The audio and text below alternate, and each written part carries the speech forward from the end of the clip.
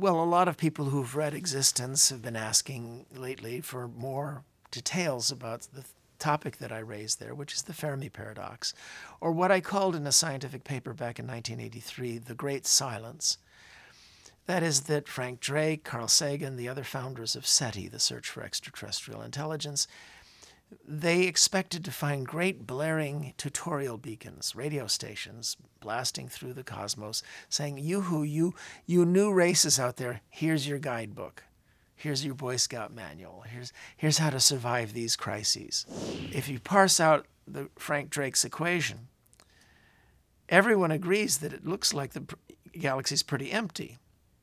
Why? The uniqueness crowd looks at explanations that might be behind us, like how many planets there are, but we're discovering, we've discovered a thousand in the last 15 years from zero. Um, or how likely life is to develop the last stages of developing life may be very, very hard. But so far, all the stages we found seem to be pretty easy. Intelligence. Now, there you got an interesting one. We have found more than a dozen species on planet Earth that can parse relatively complex semantics.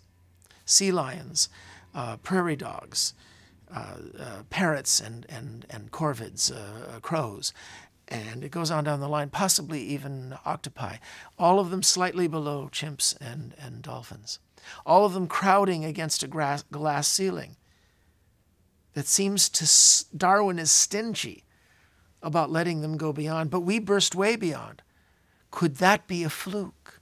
So you're going through these parts of the Drake equation, and there are the factors that might mean that the galaxy is relatively empty, because the things that brought about us are rare. One of them, two of them. And then there are the grouchy guys who say the crises are in front of us nuclear war, nuclear winter, environmental mismanagement, uh, or, as I raise in existence, some other possibilities like renunciation of science, renunciation of progress. I mean, this is a strong possible way in which many, because many, most of our human civilizations were hyper conservative because they didn't want to disturb that pyramidal social structure. The debate is ongoing. It's the most fascinating debate of all.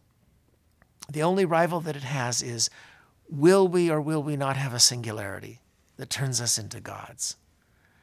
I mean, these are two science fiction based notions and they're gaining quite a lot of currency outside our field because they're the two most interesting questions around.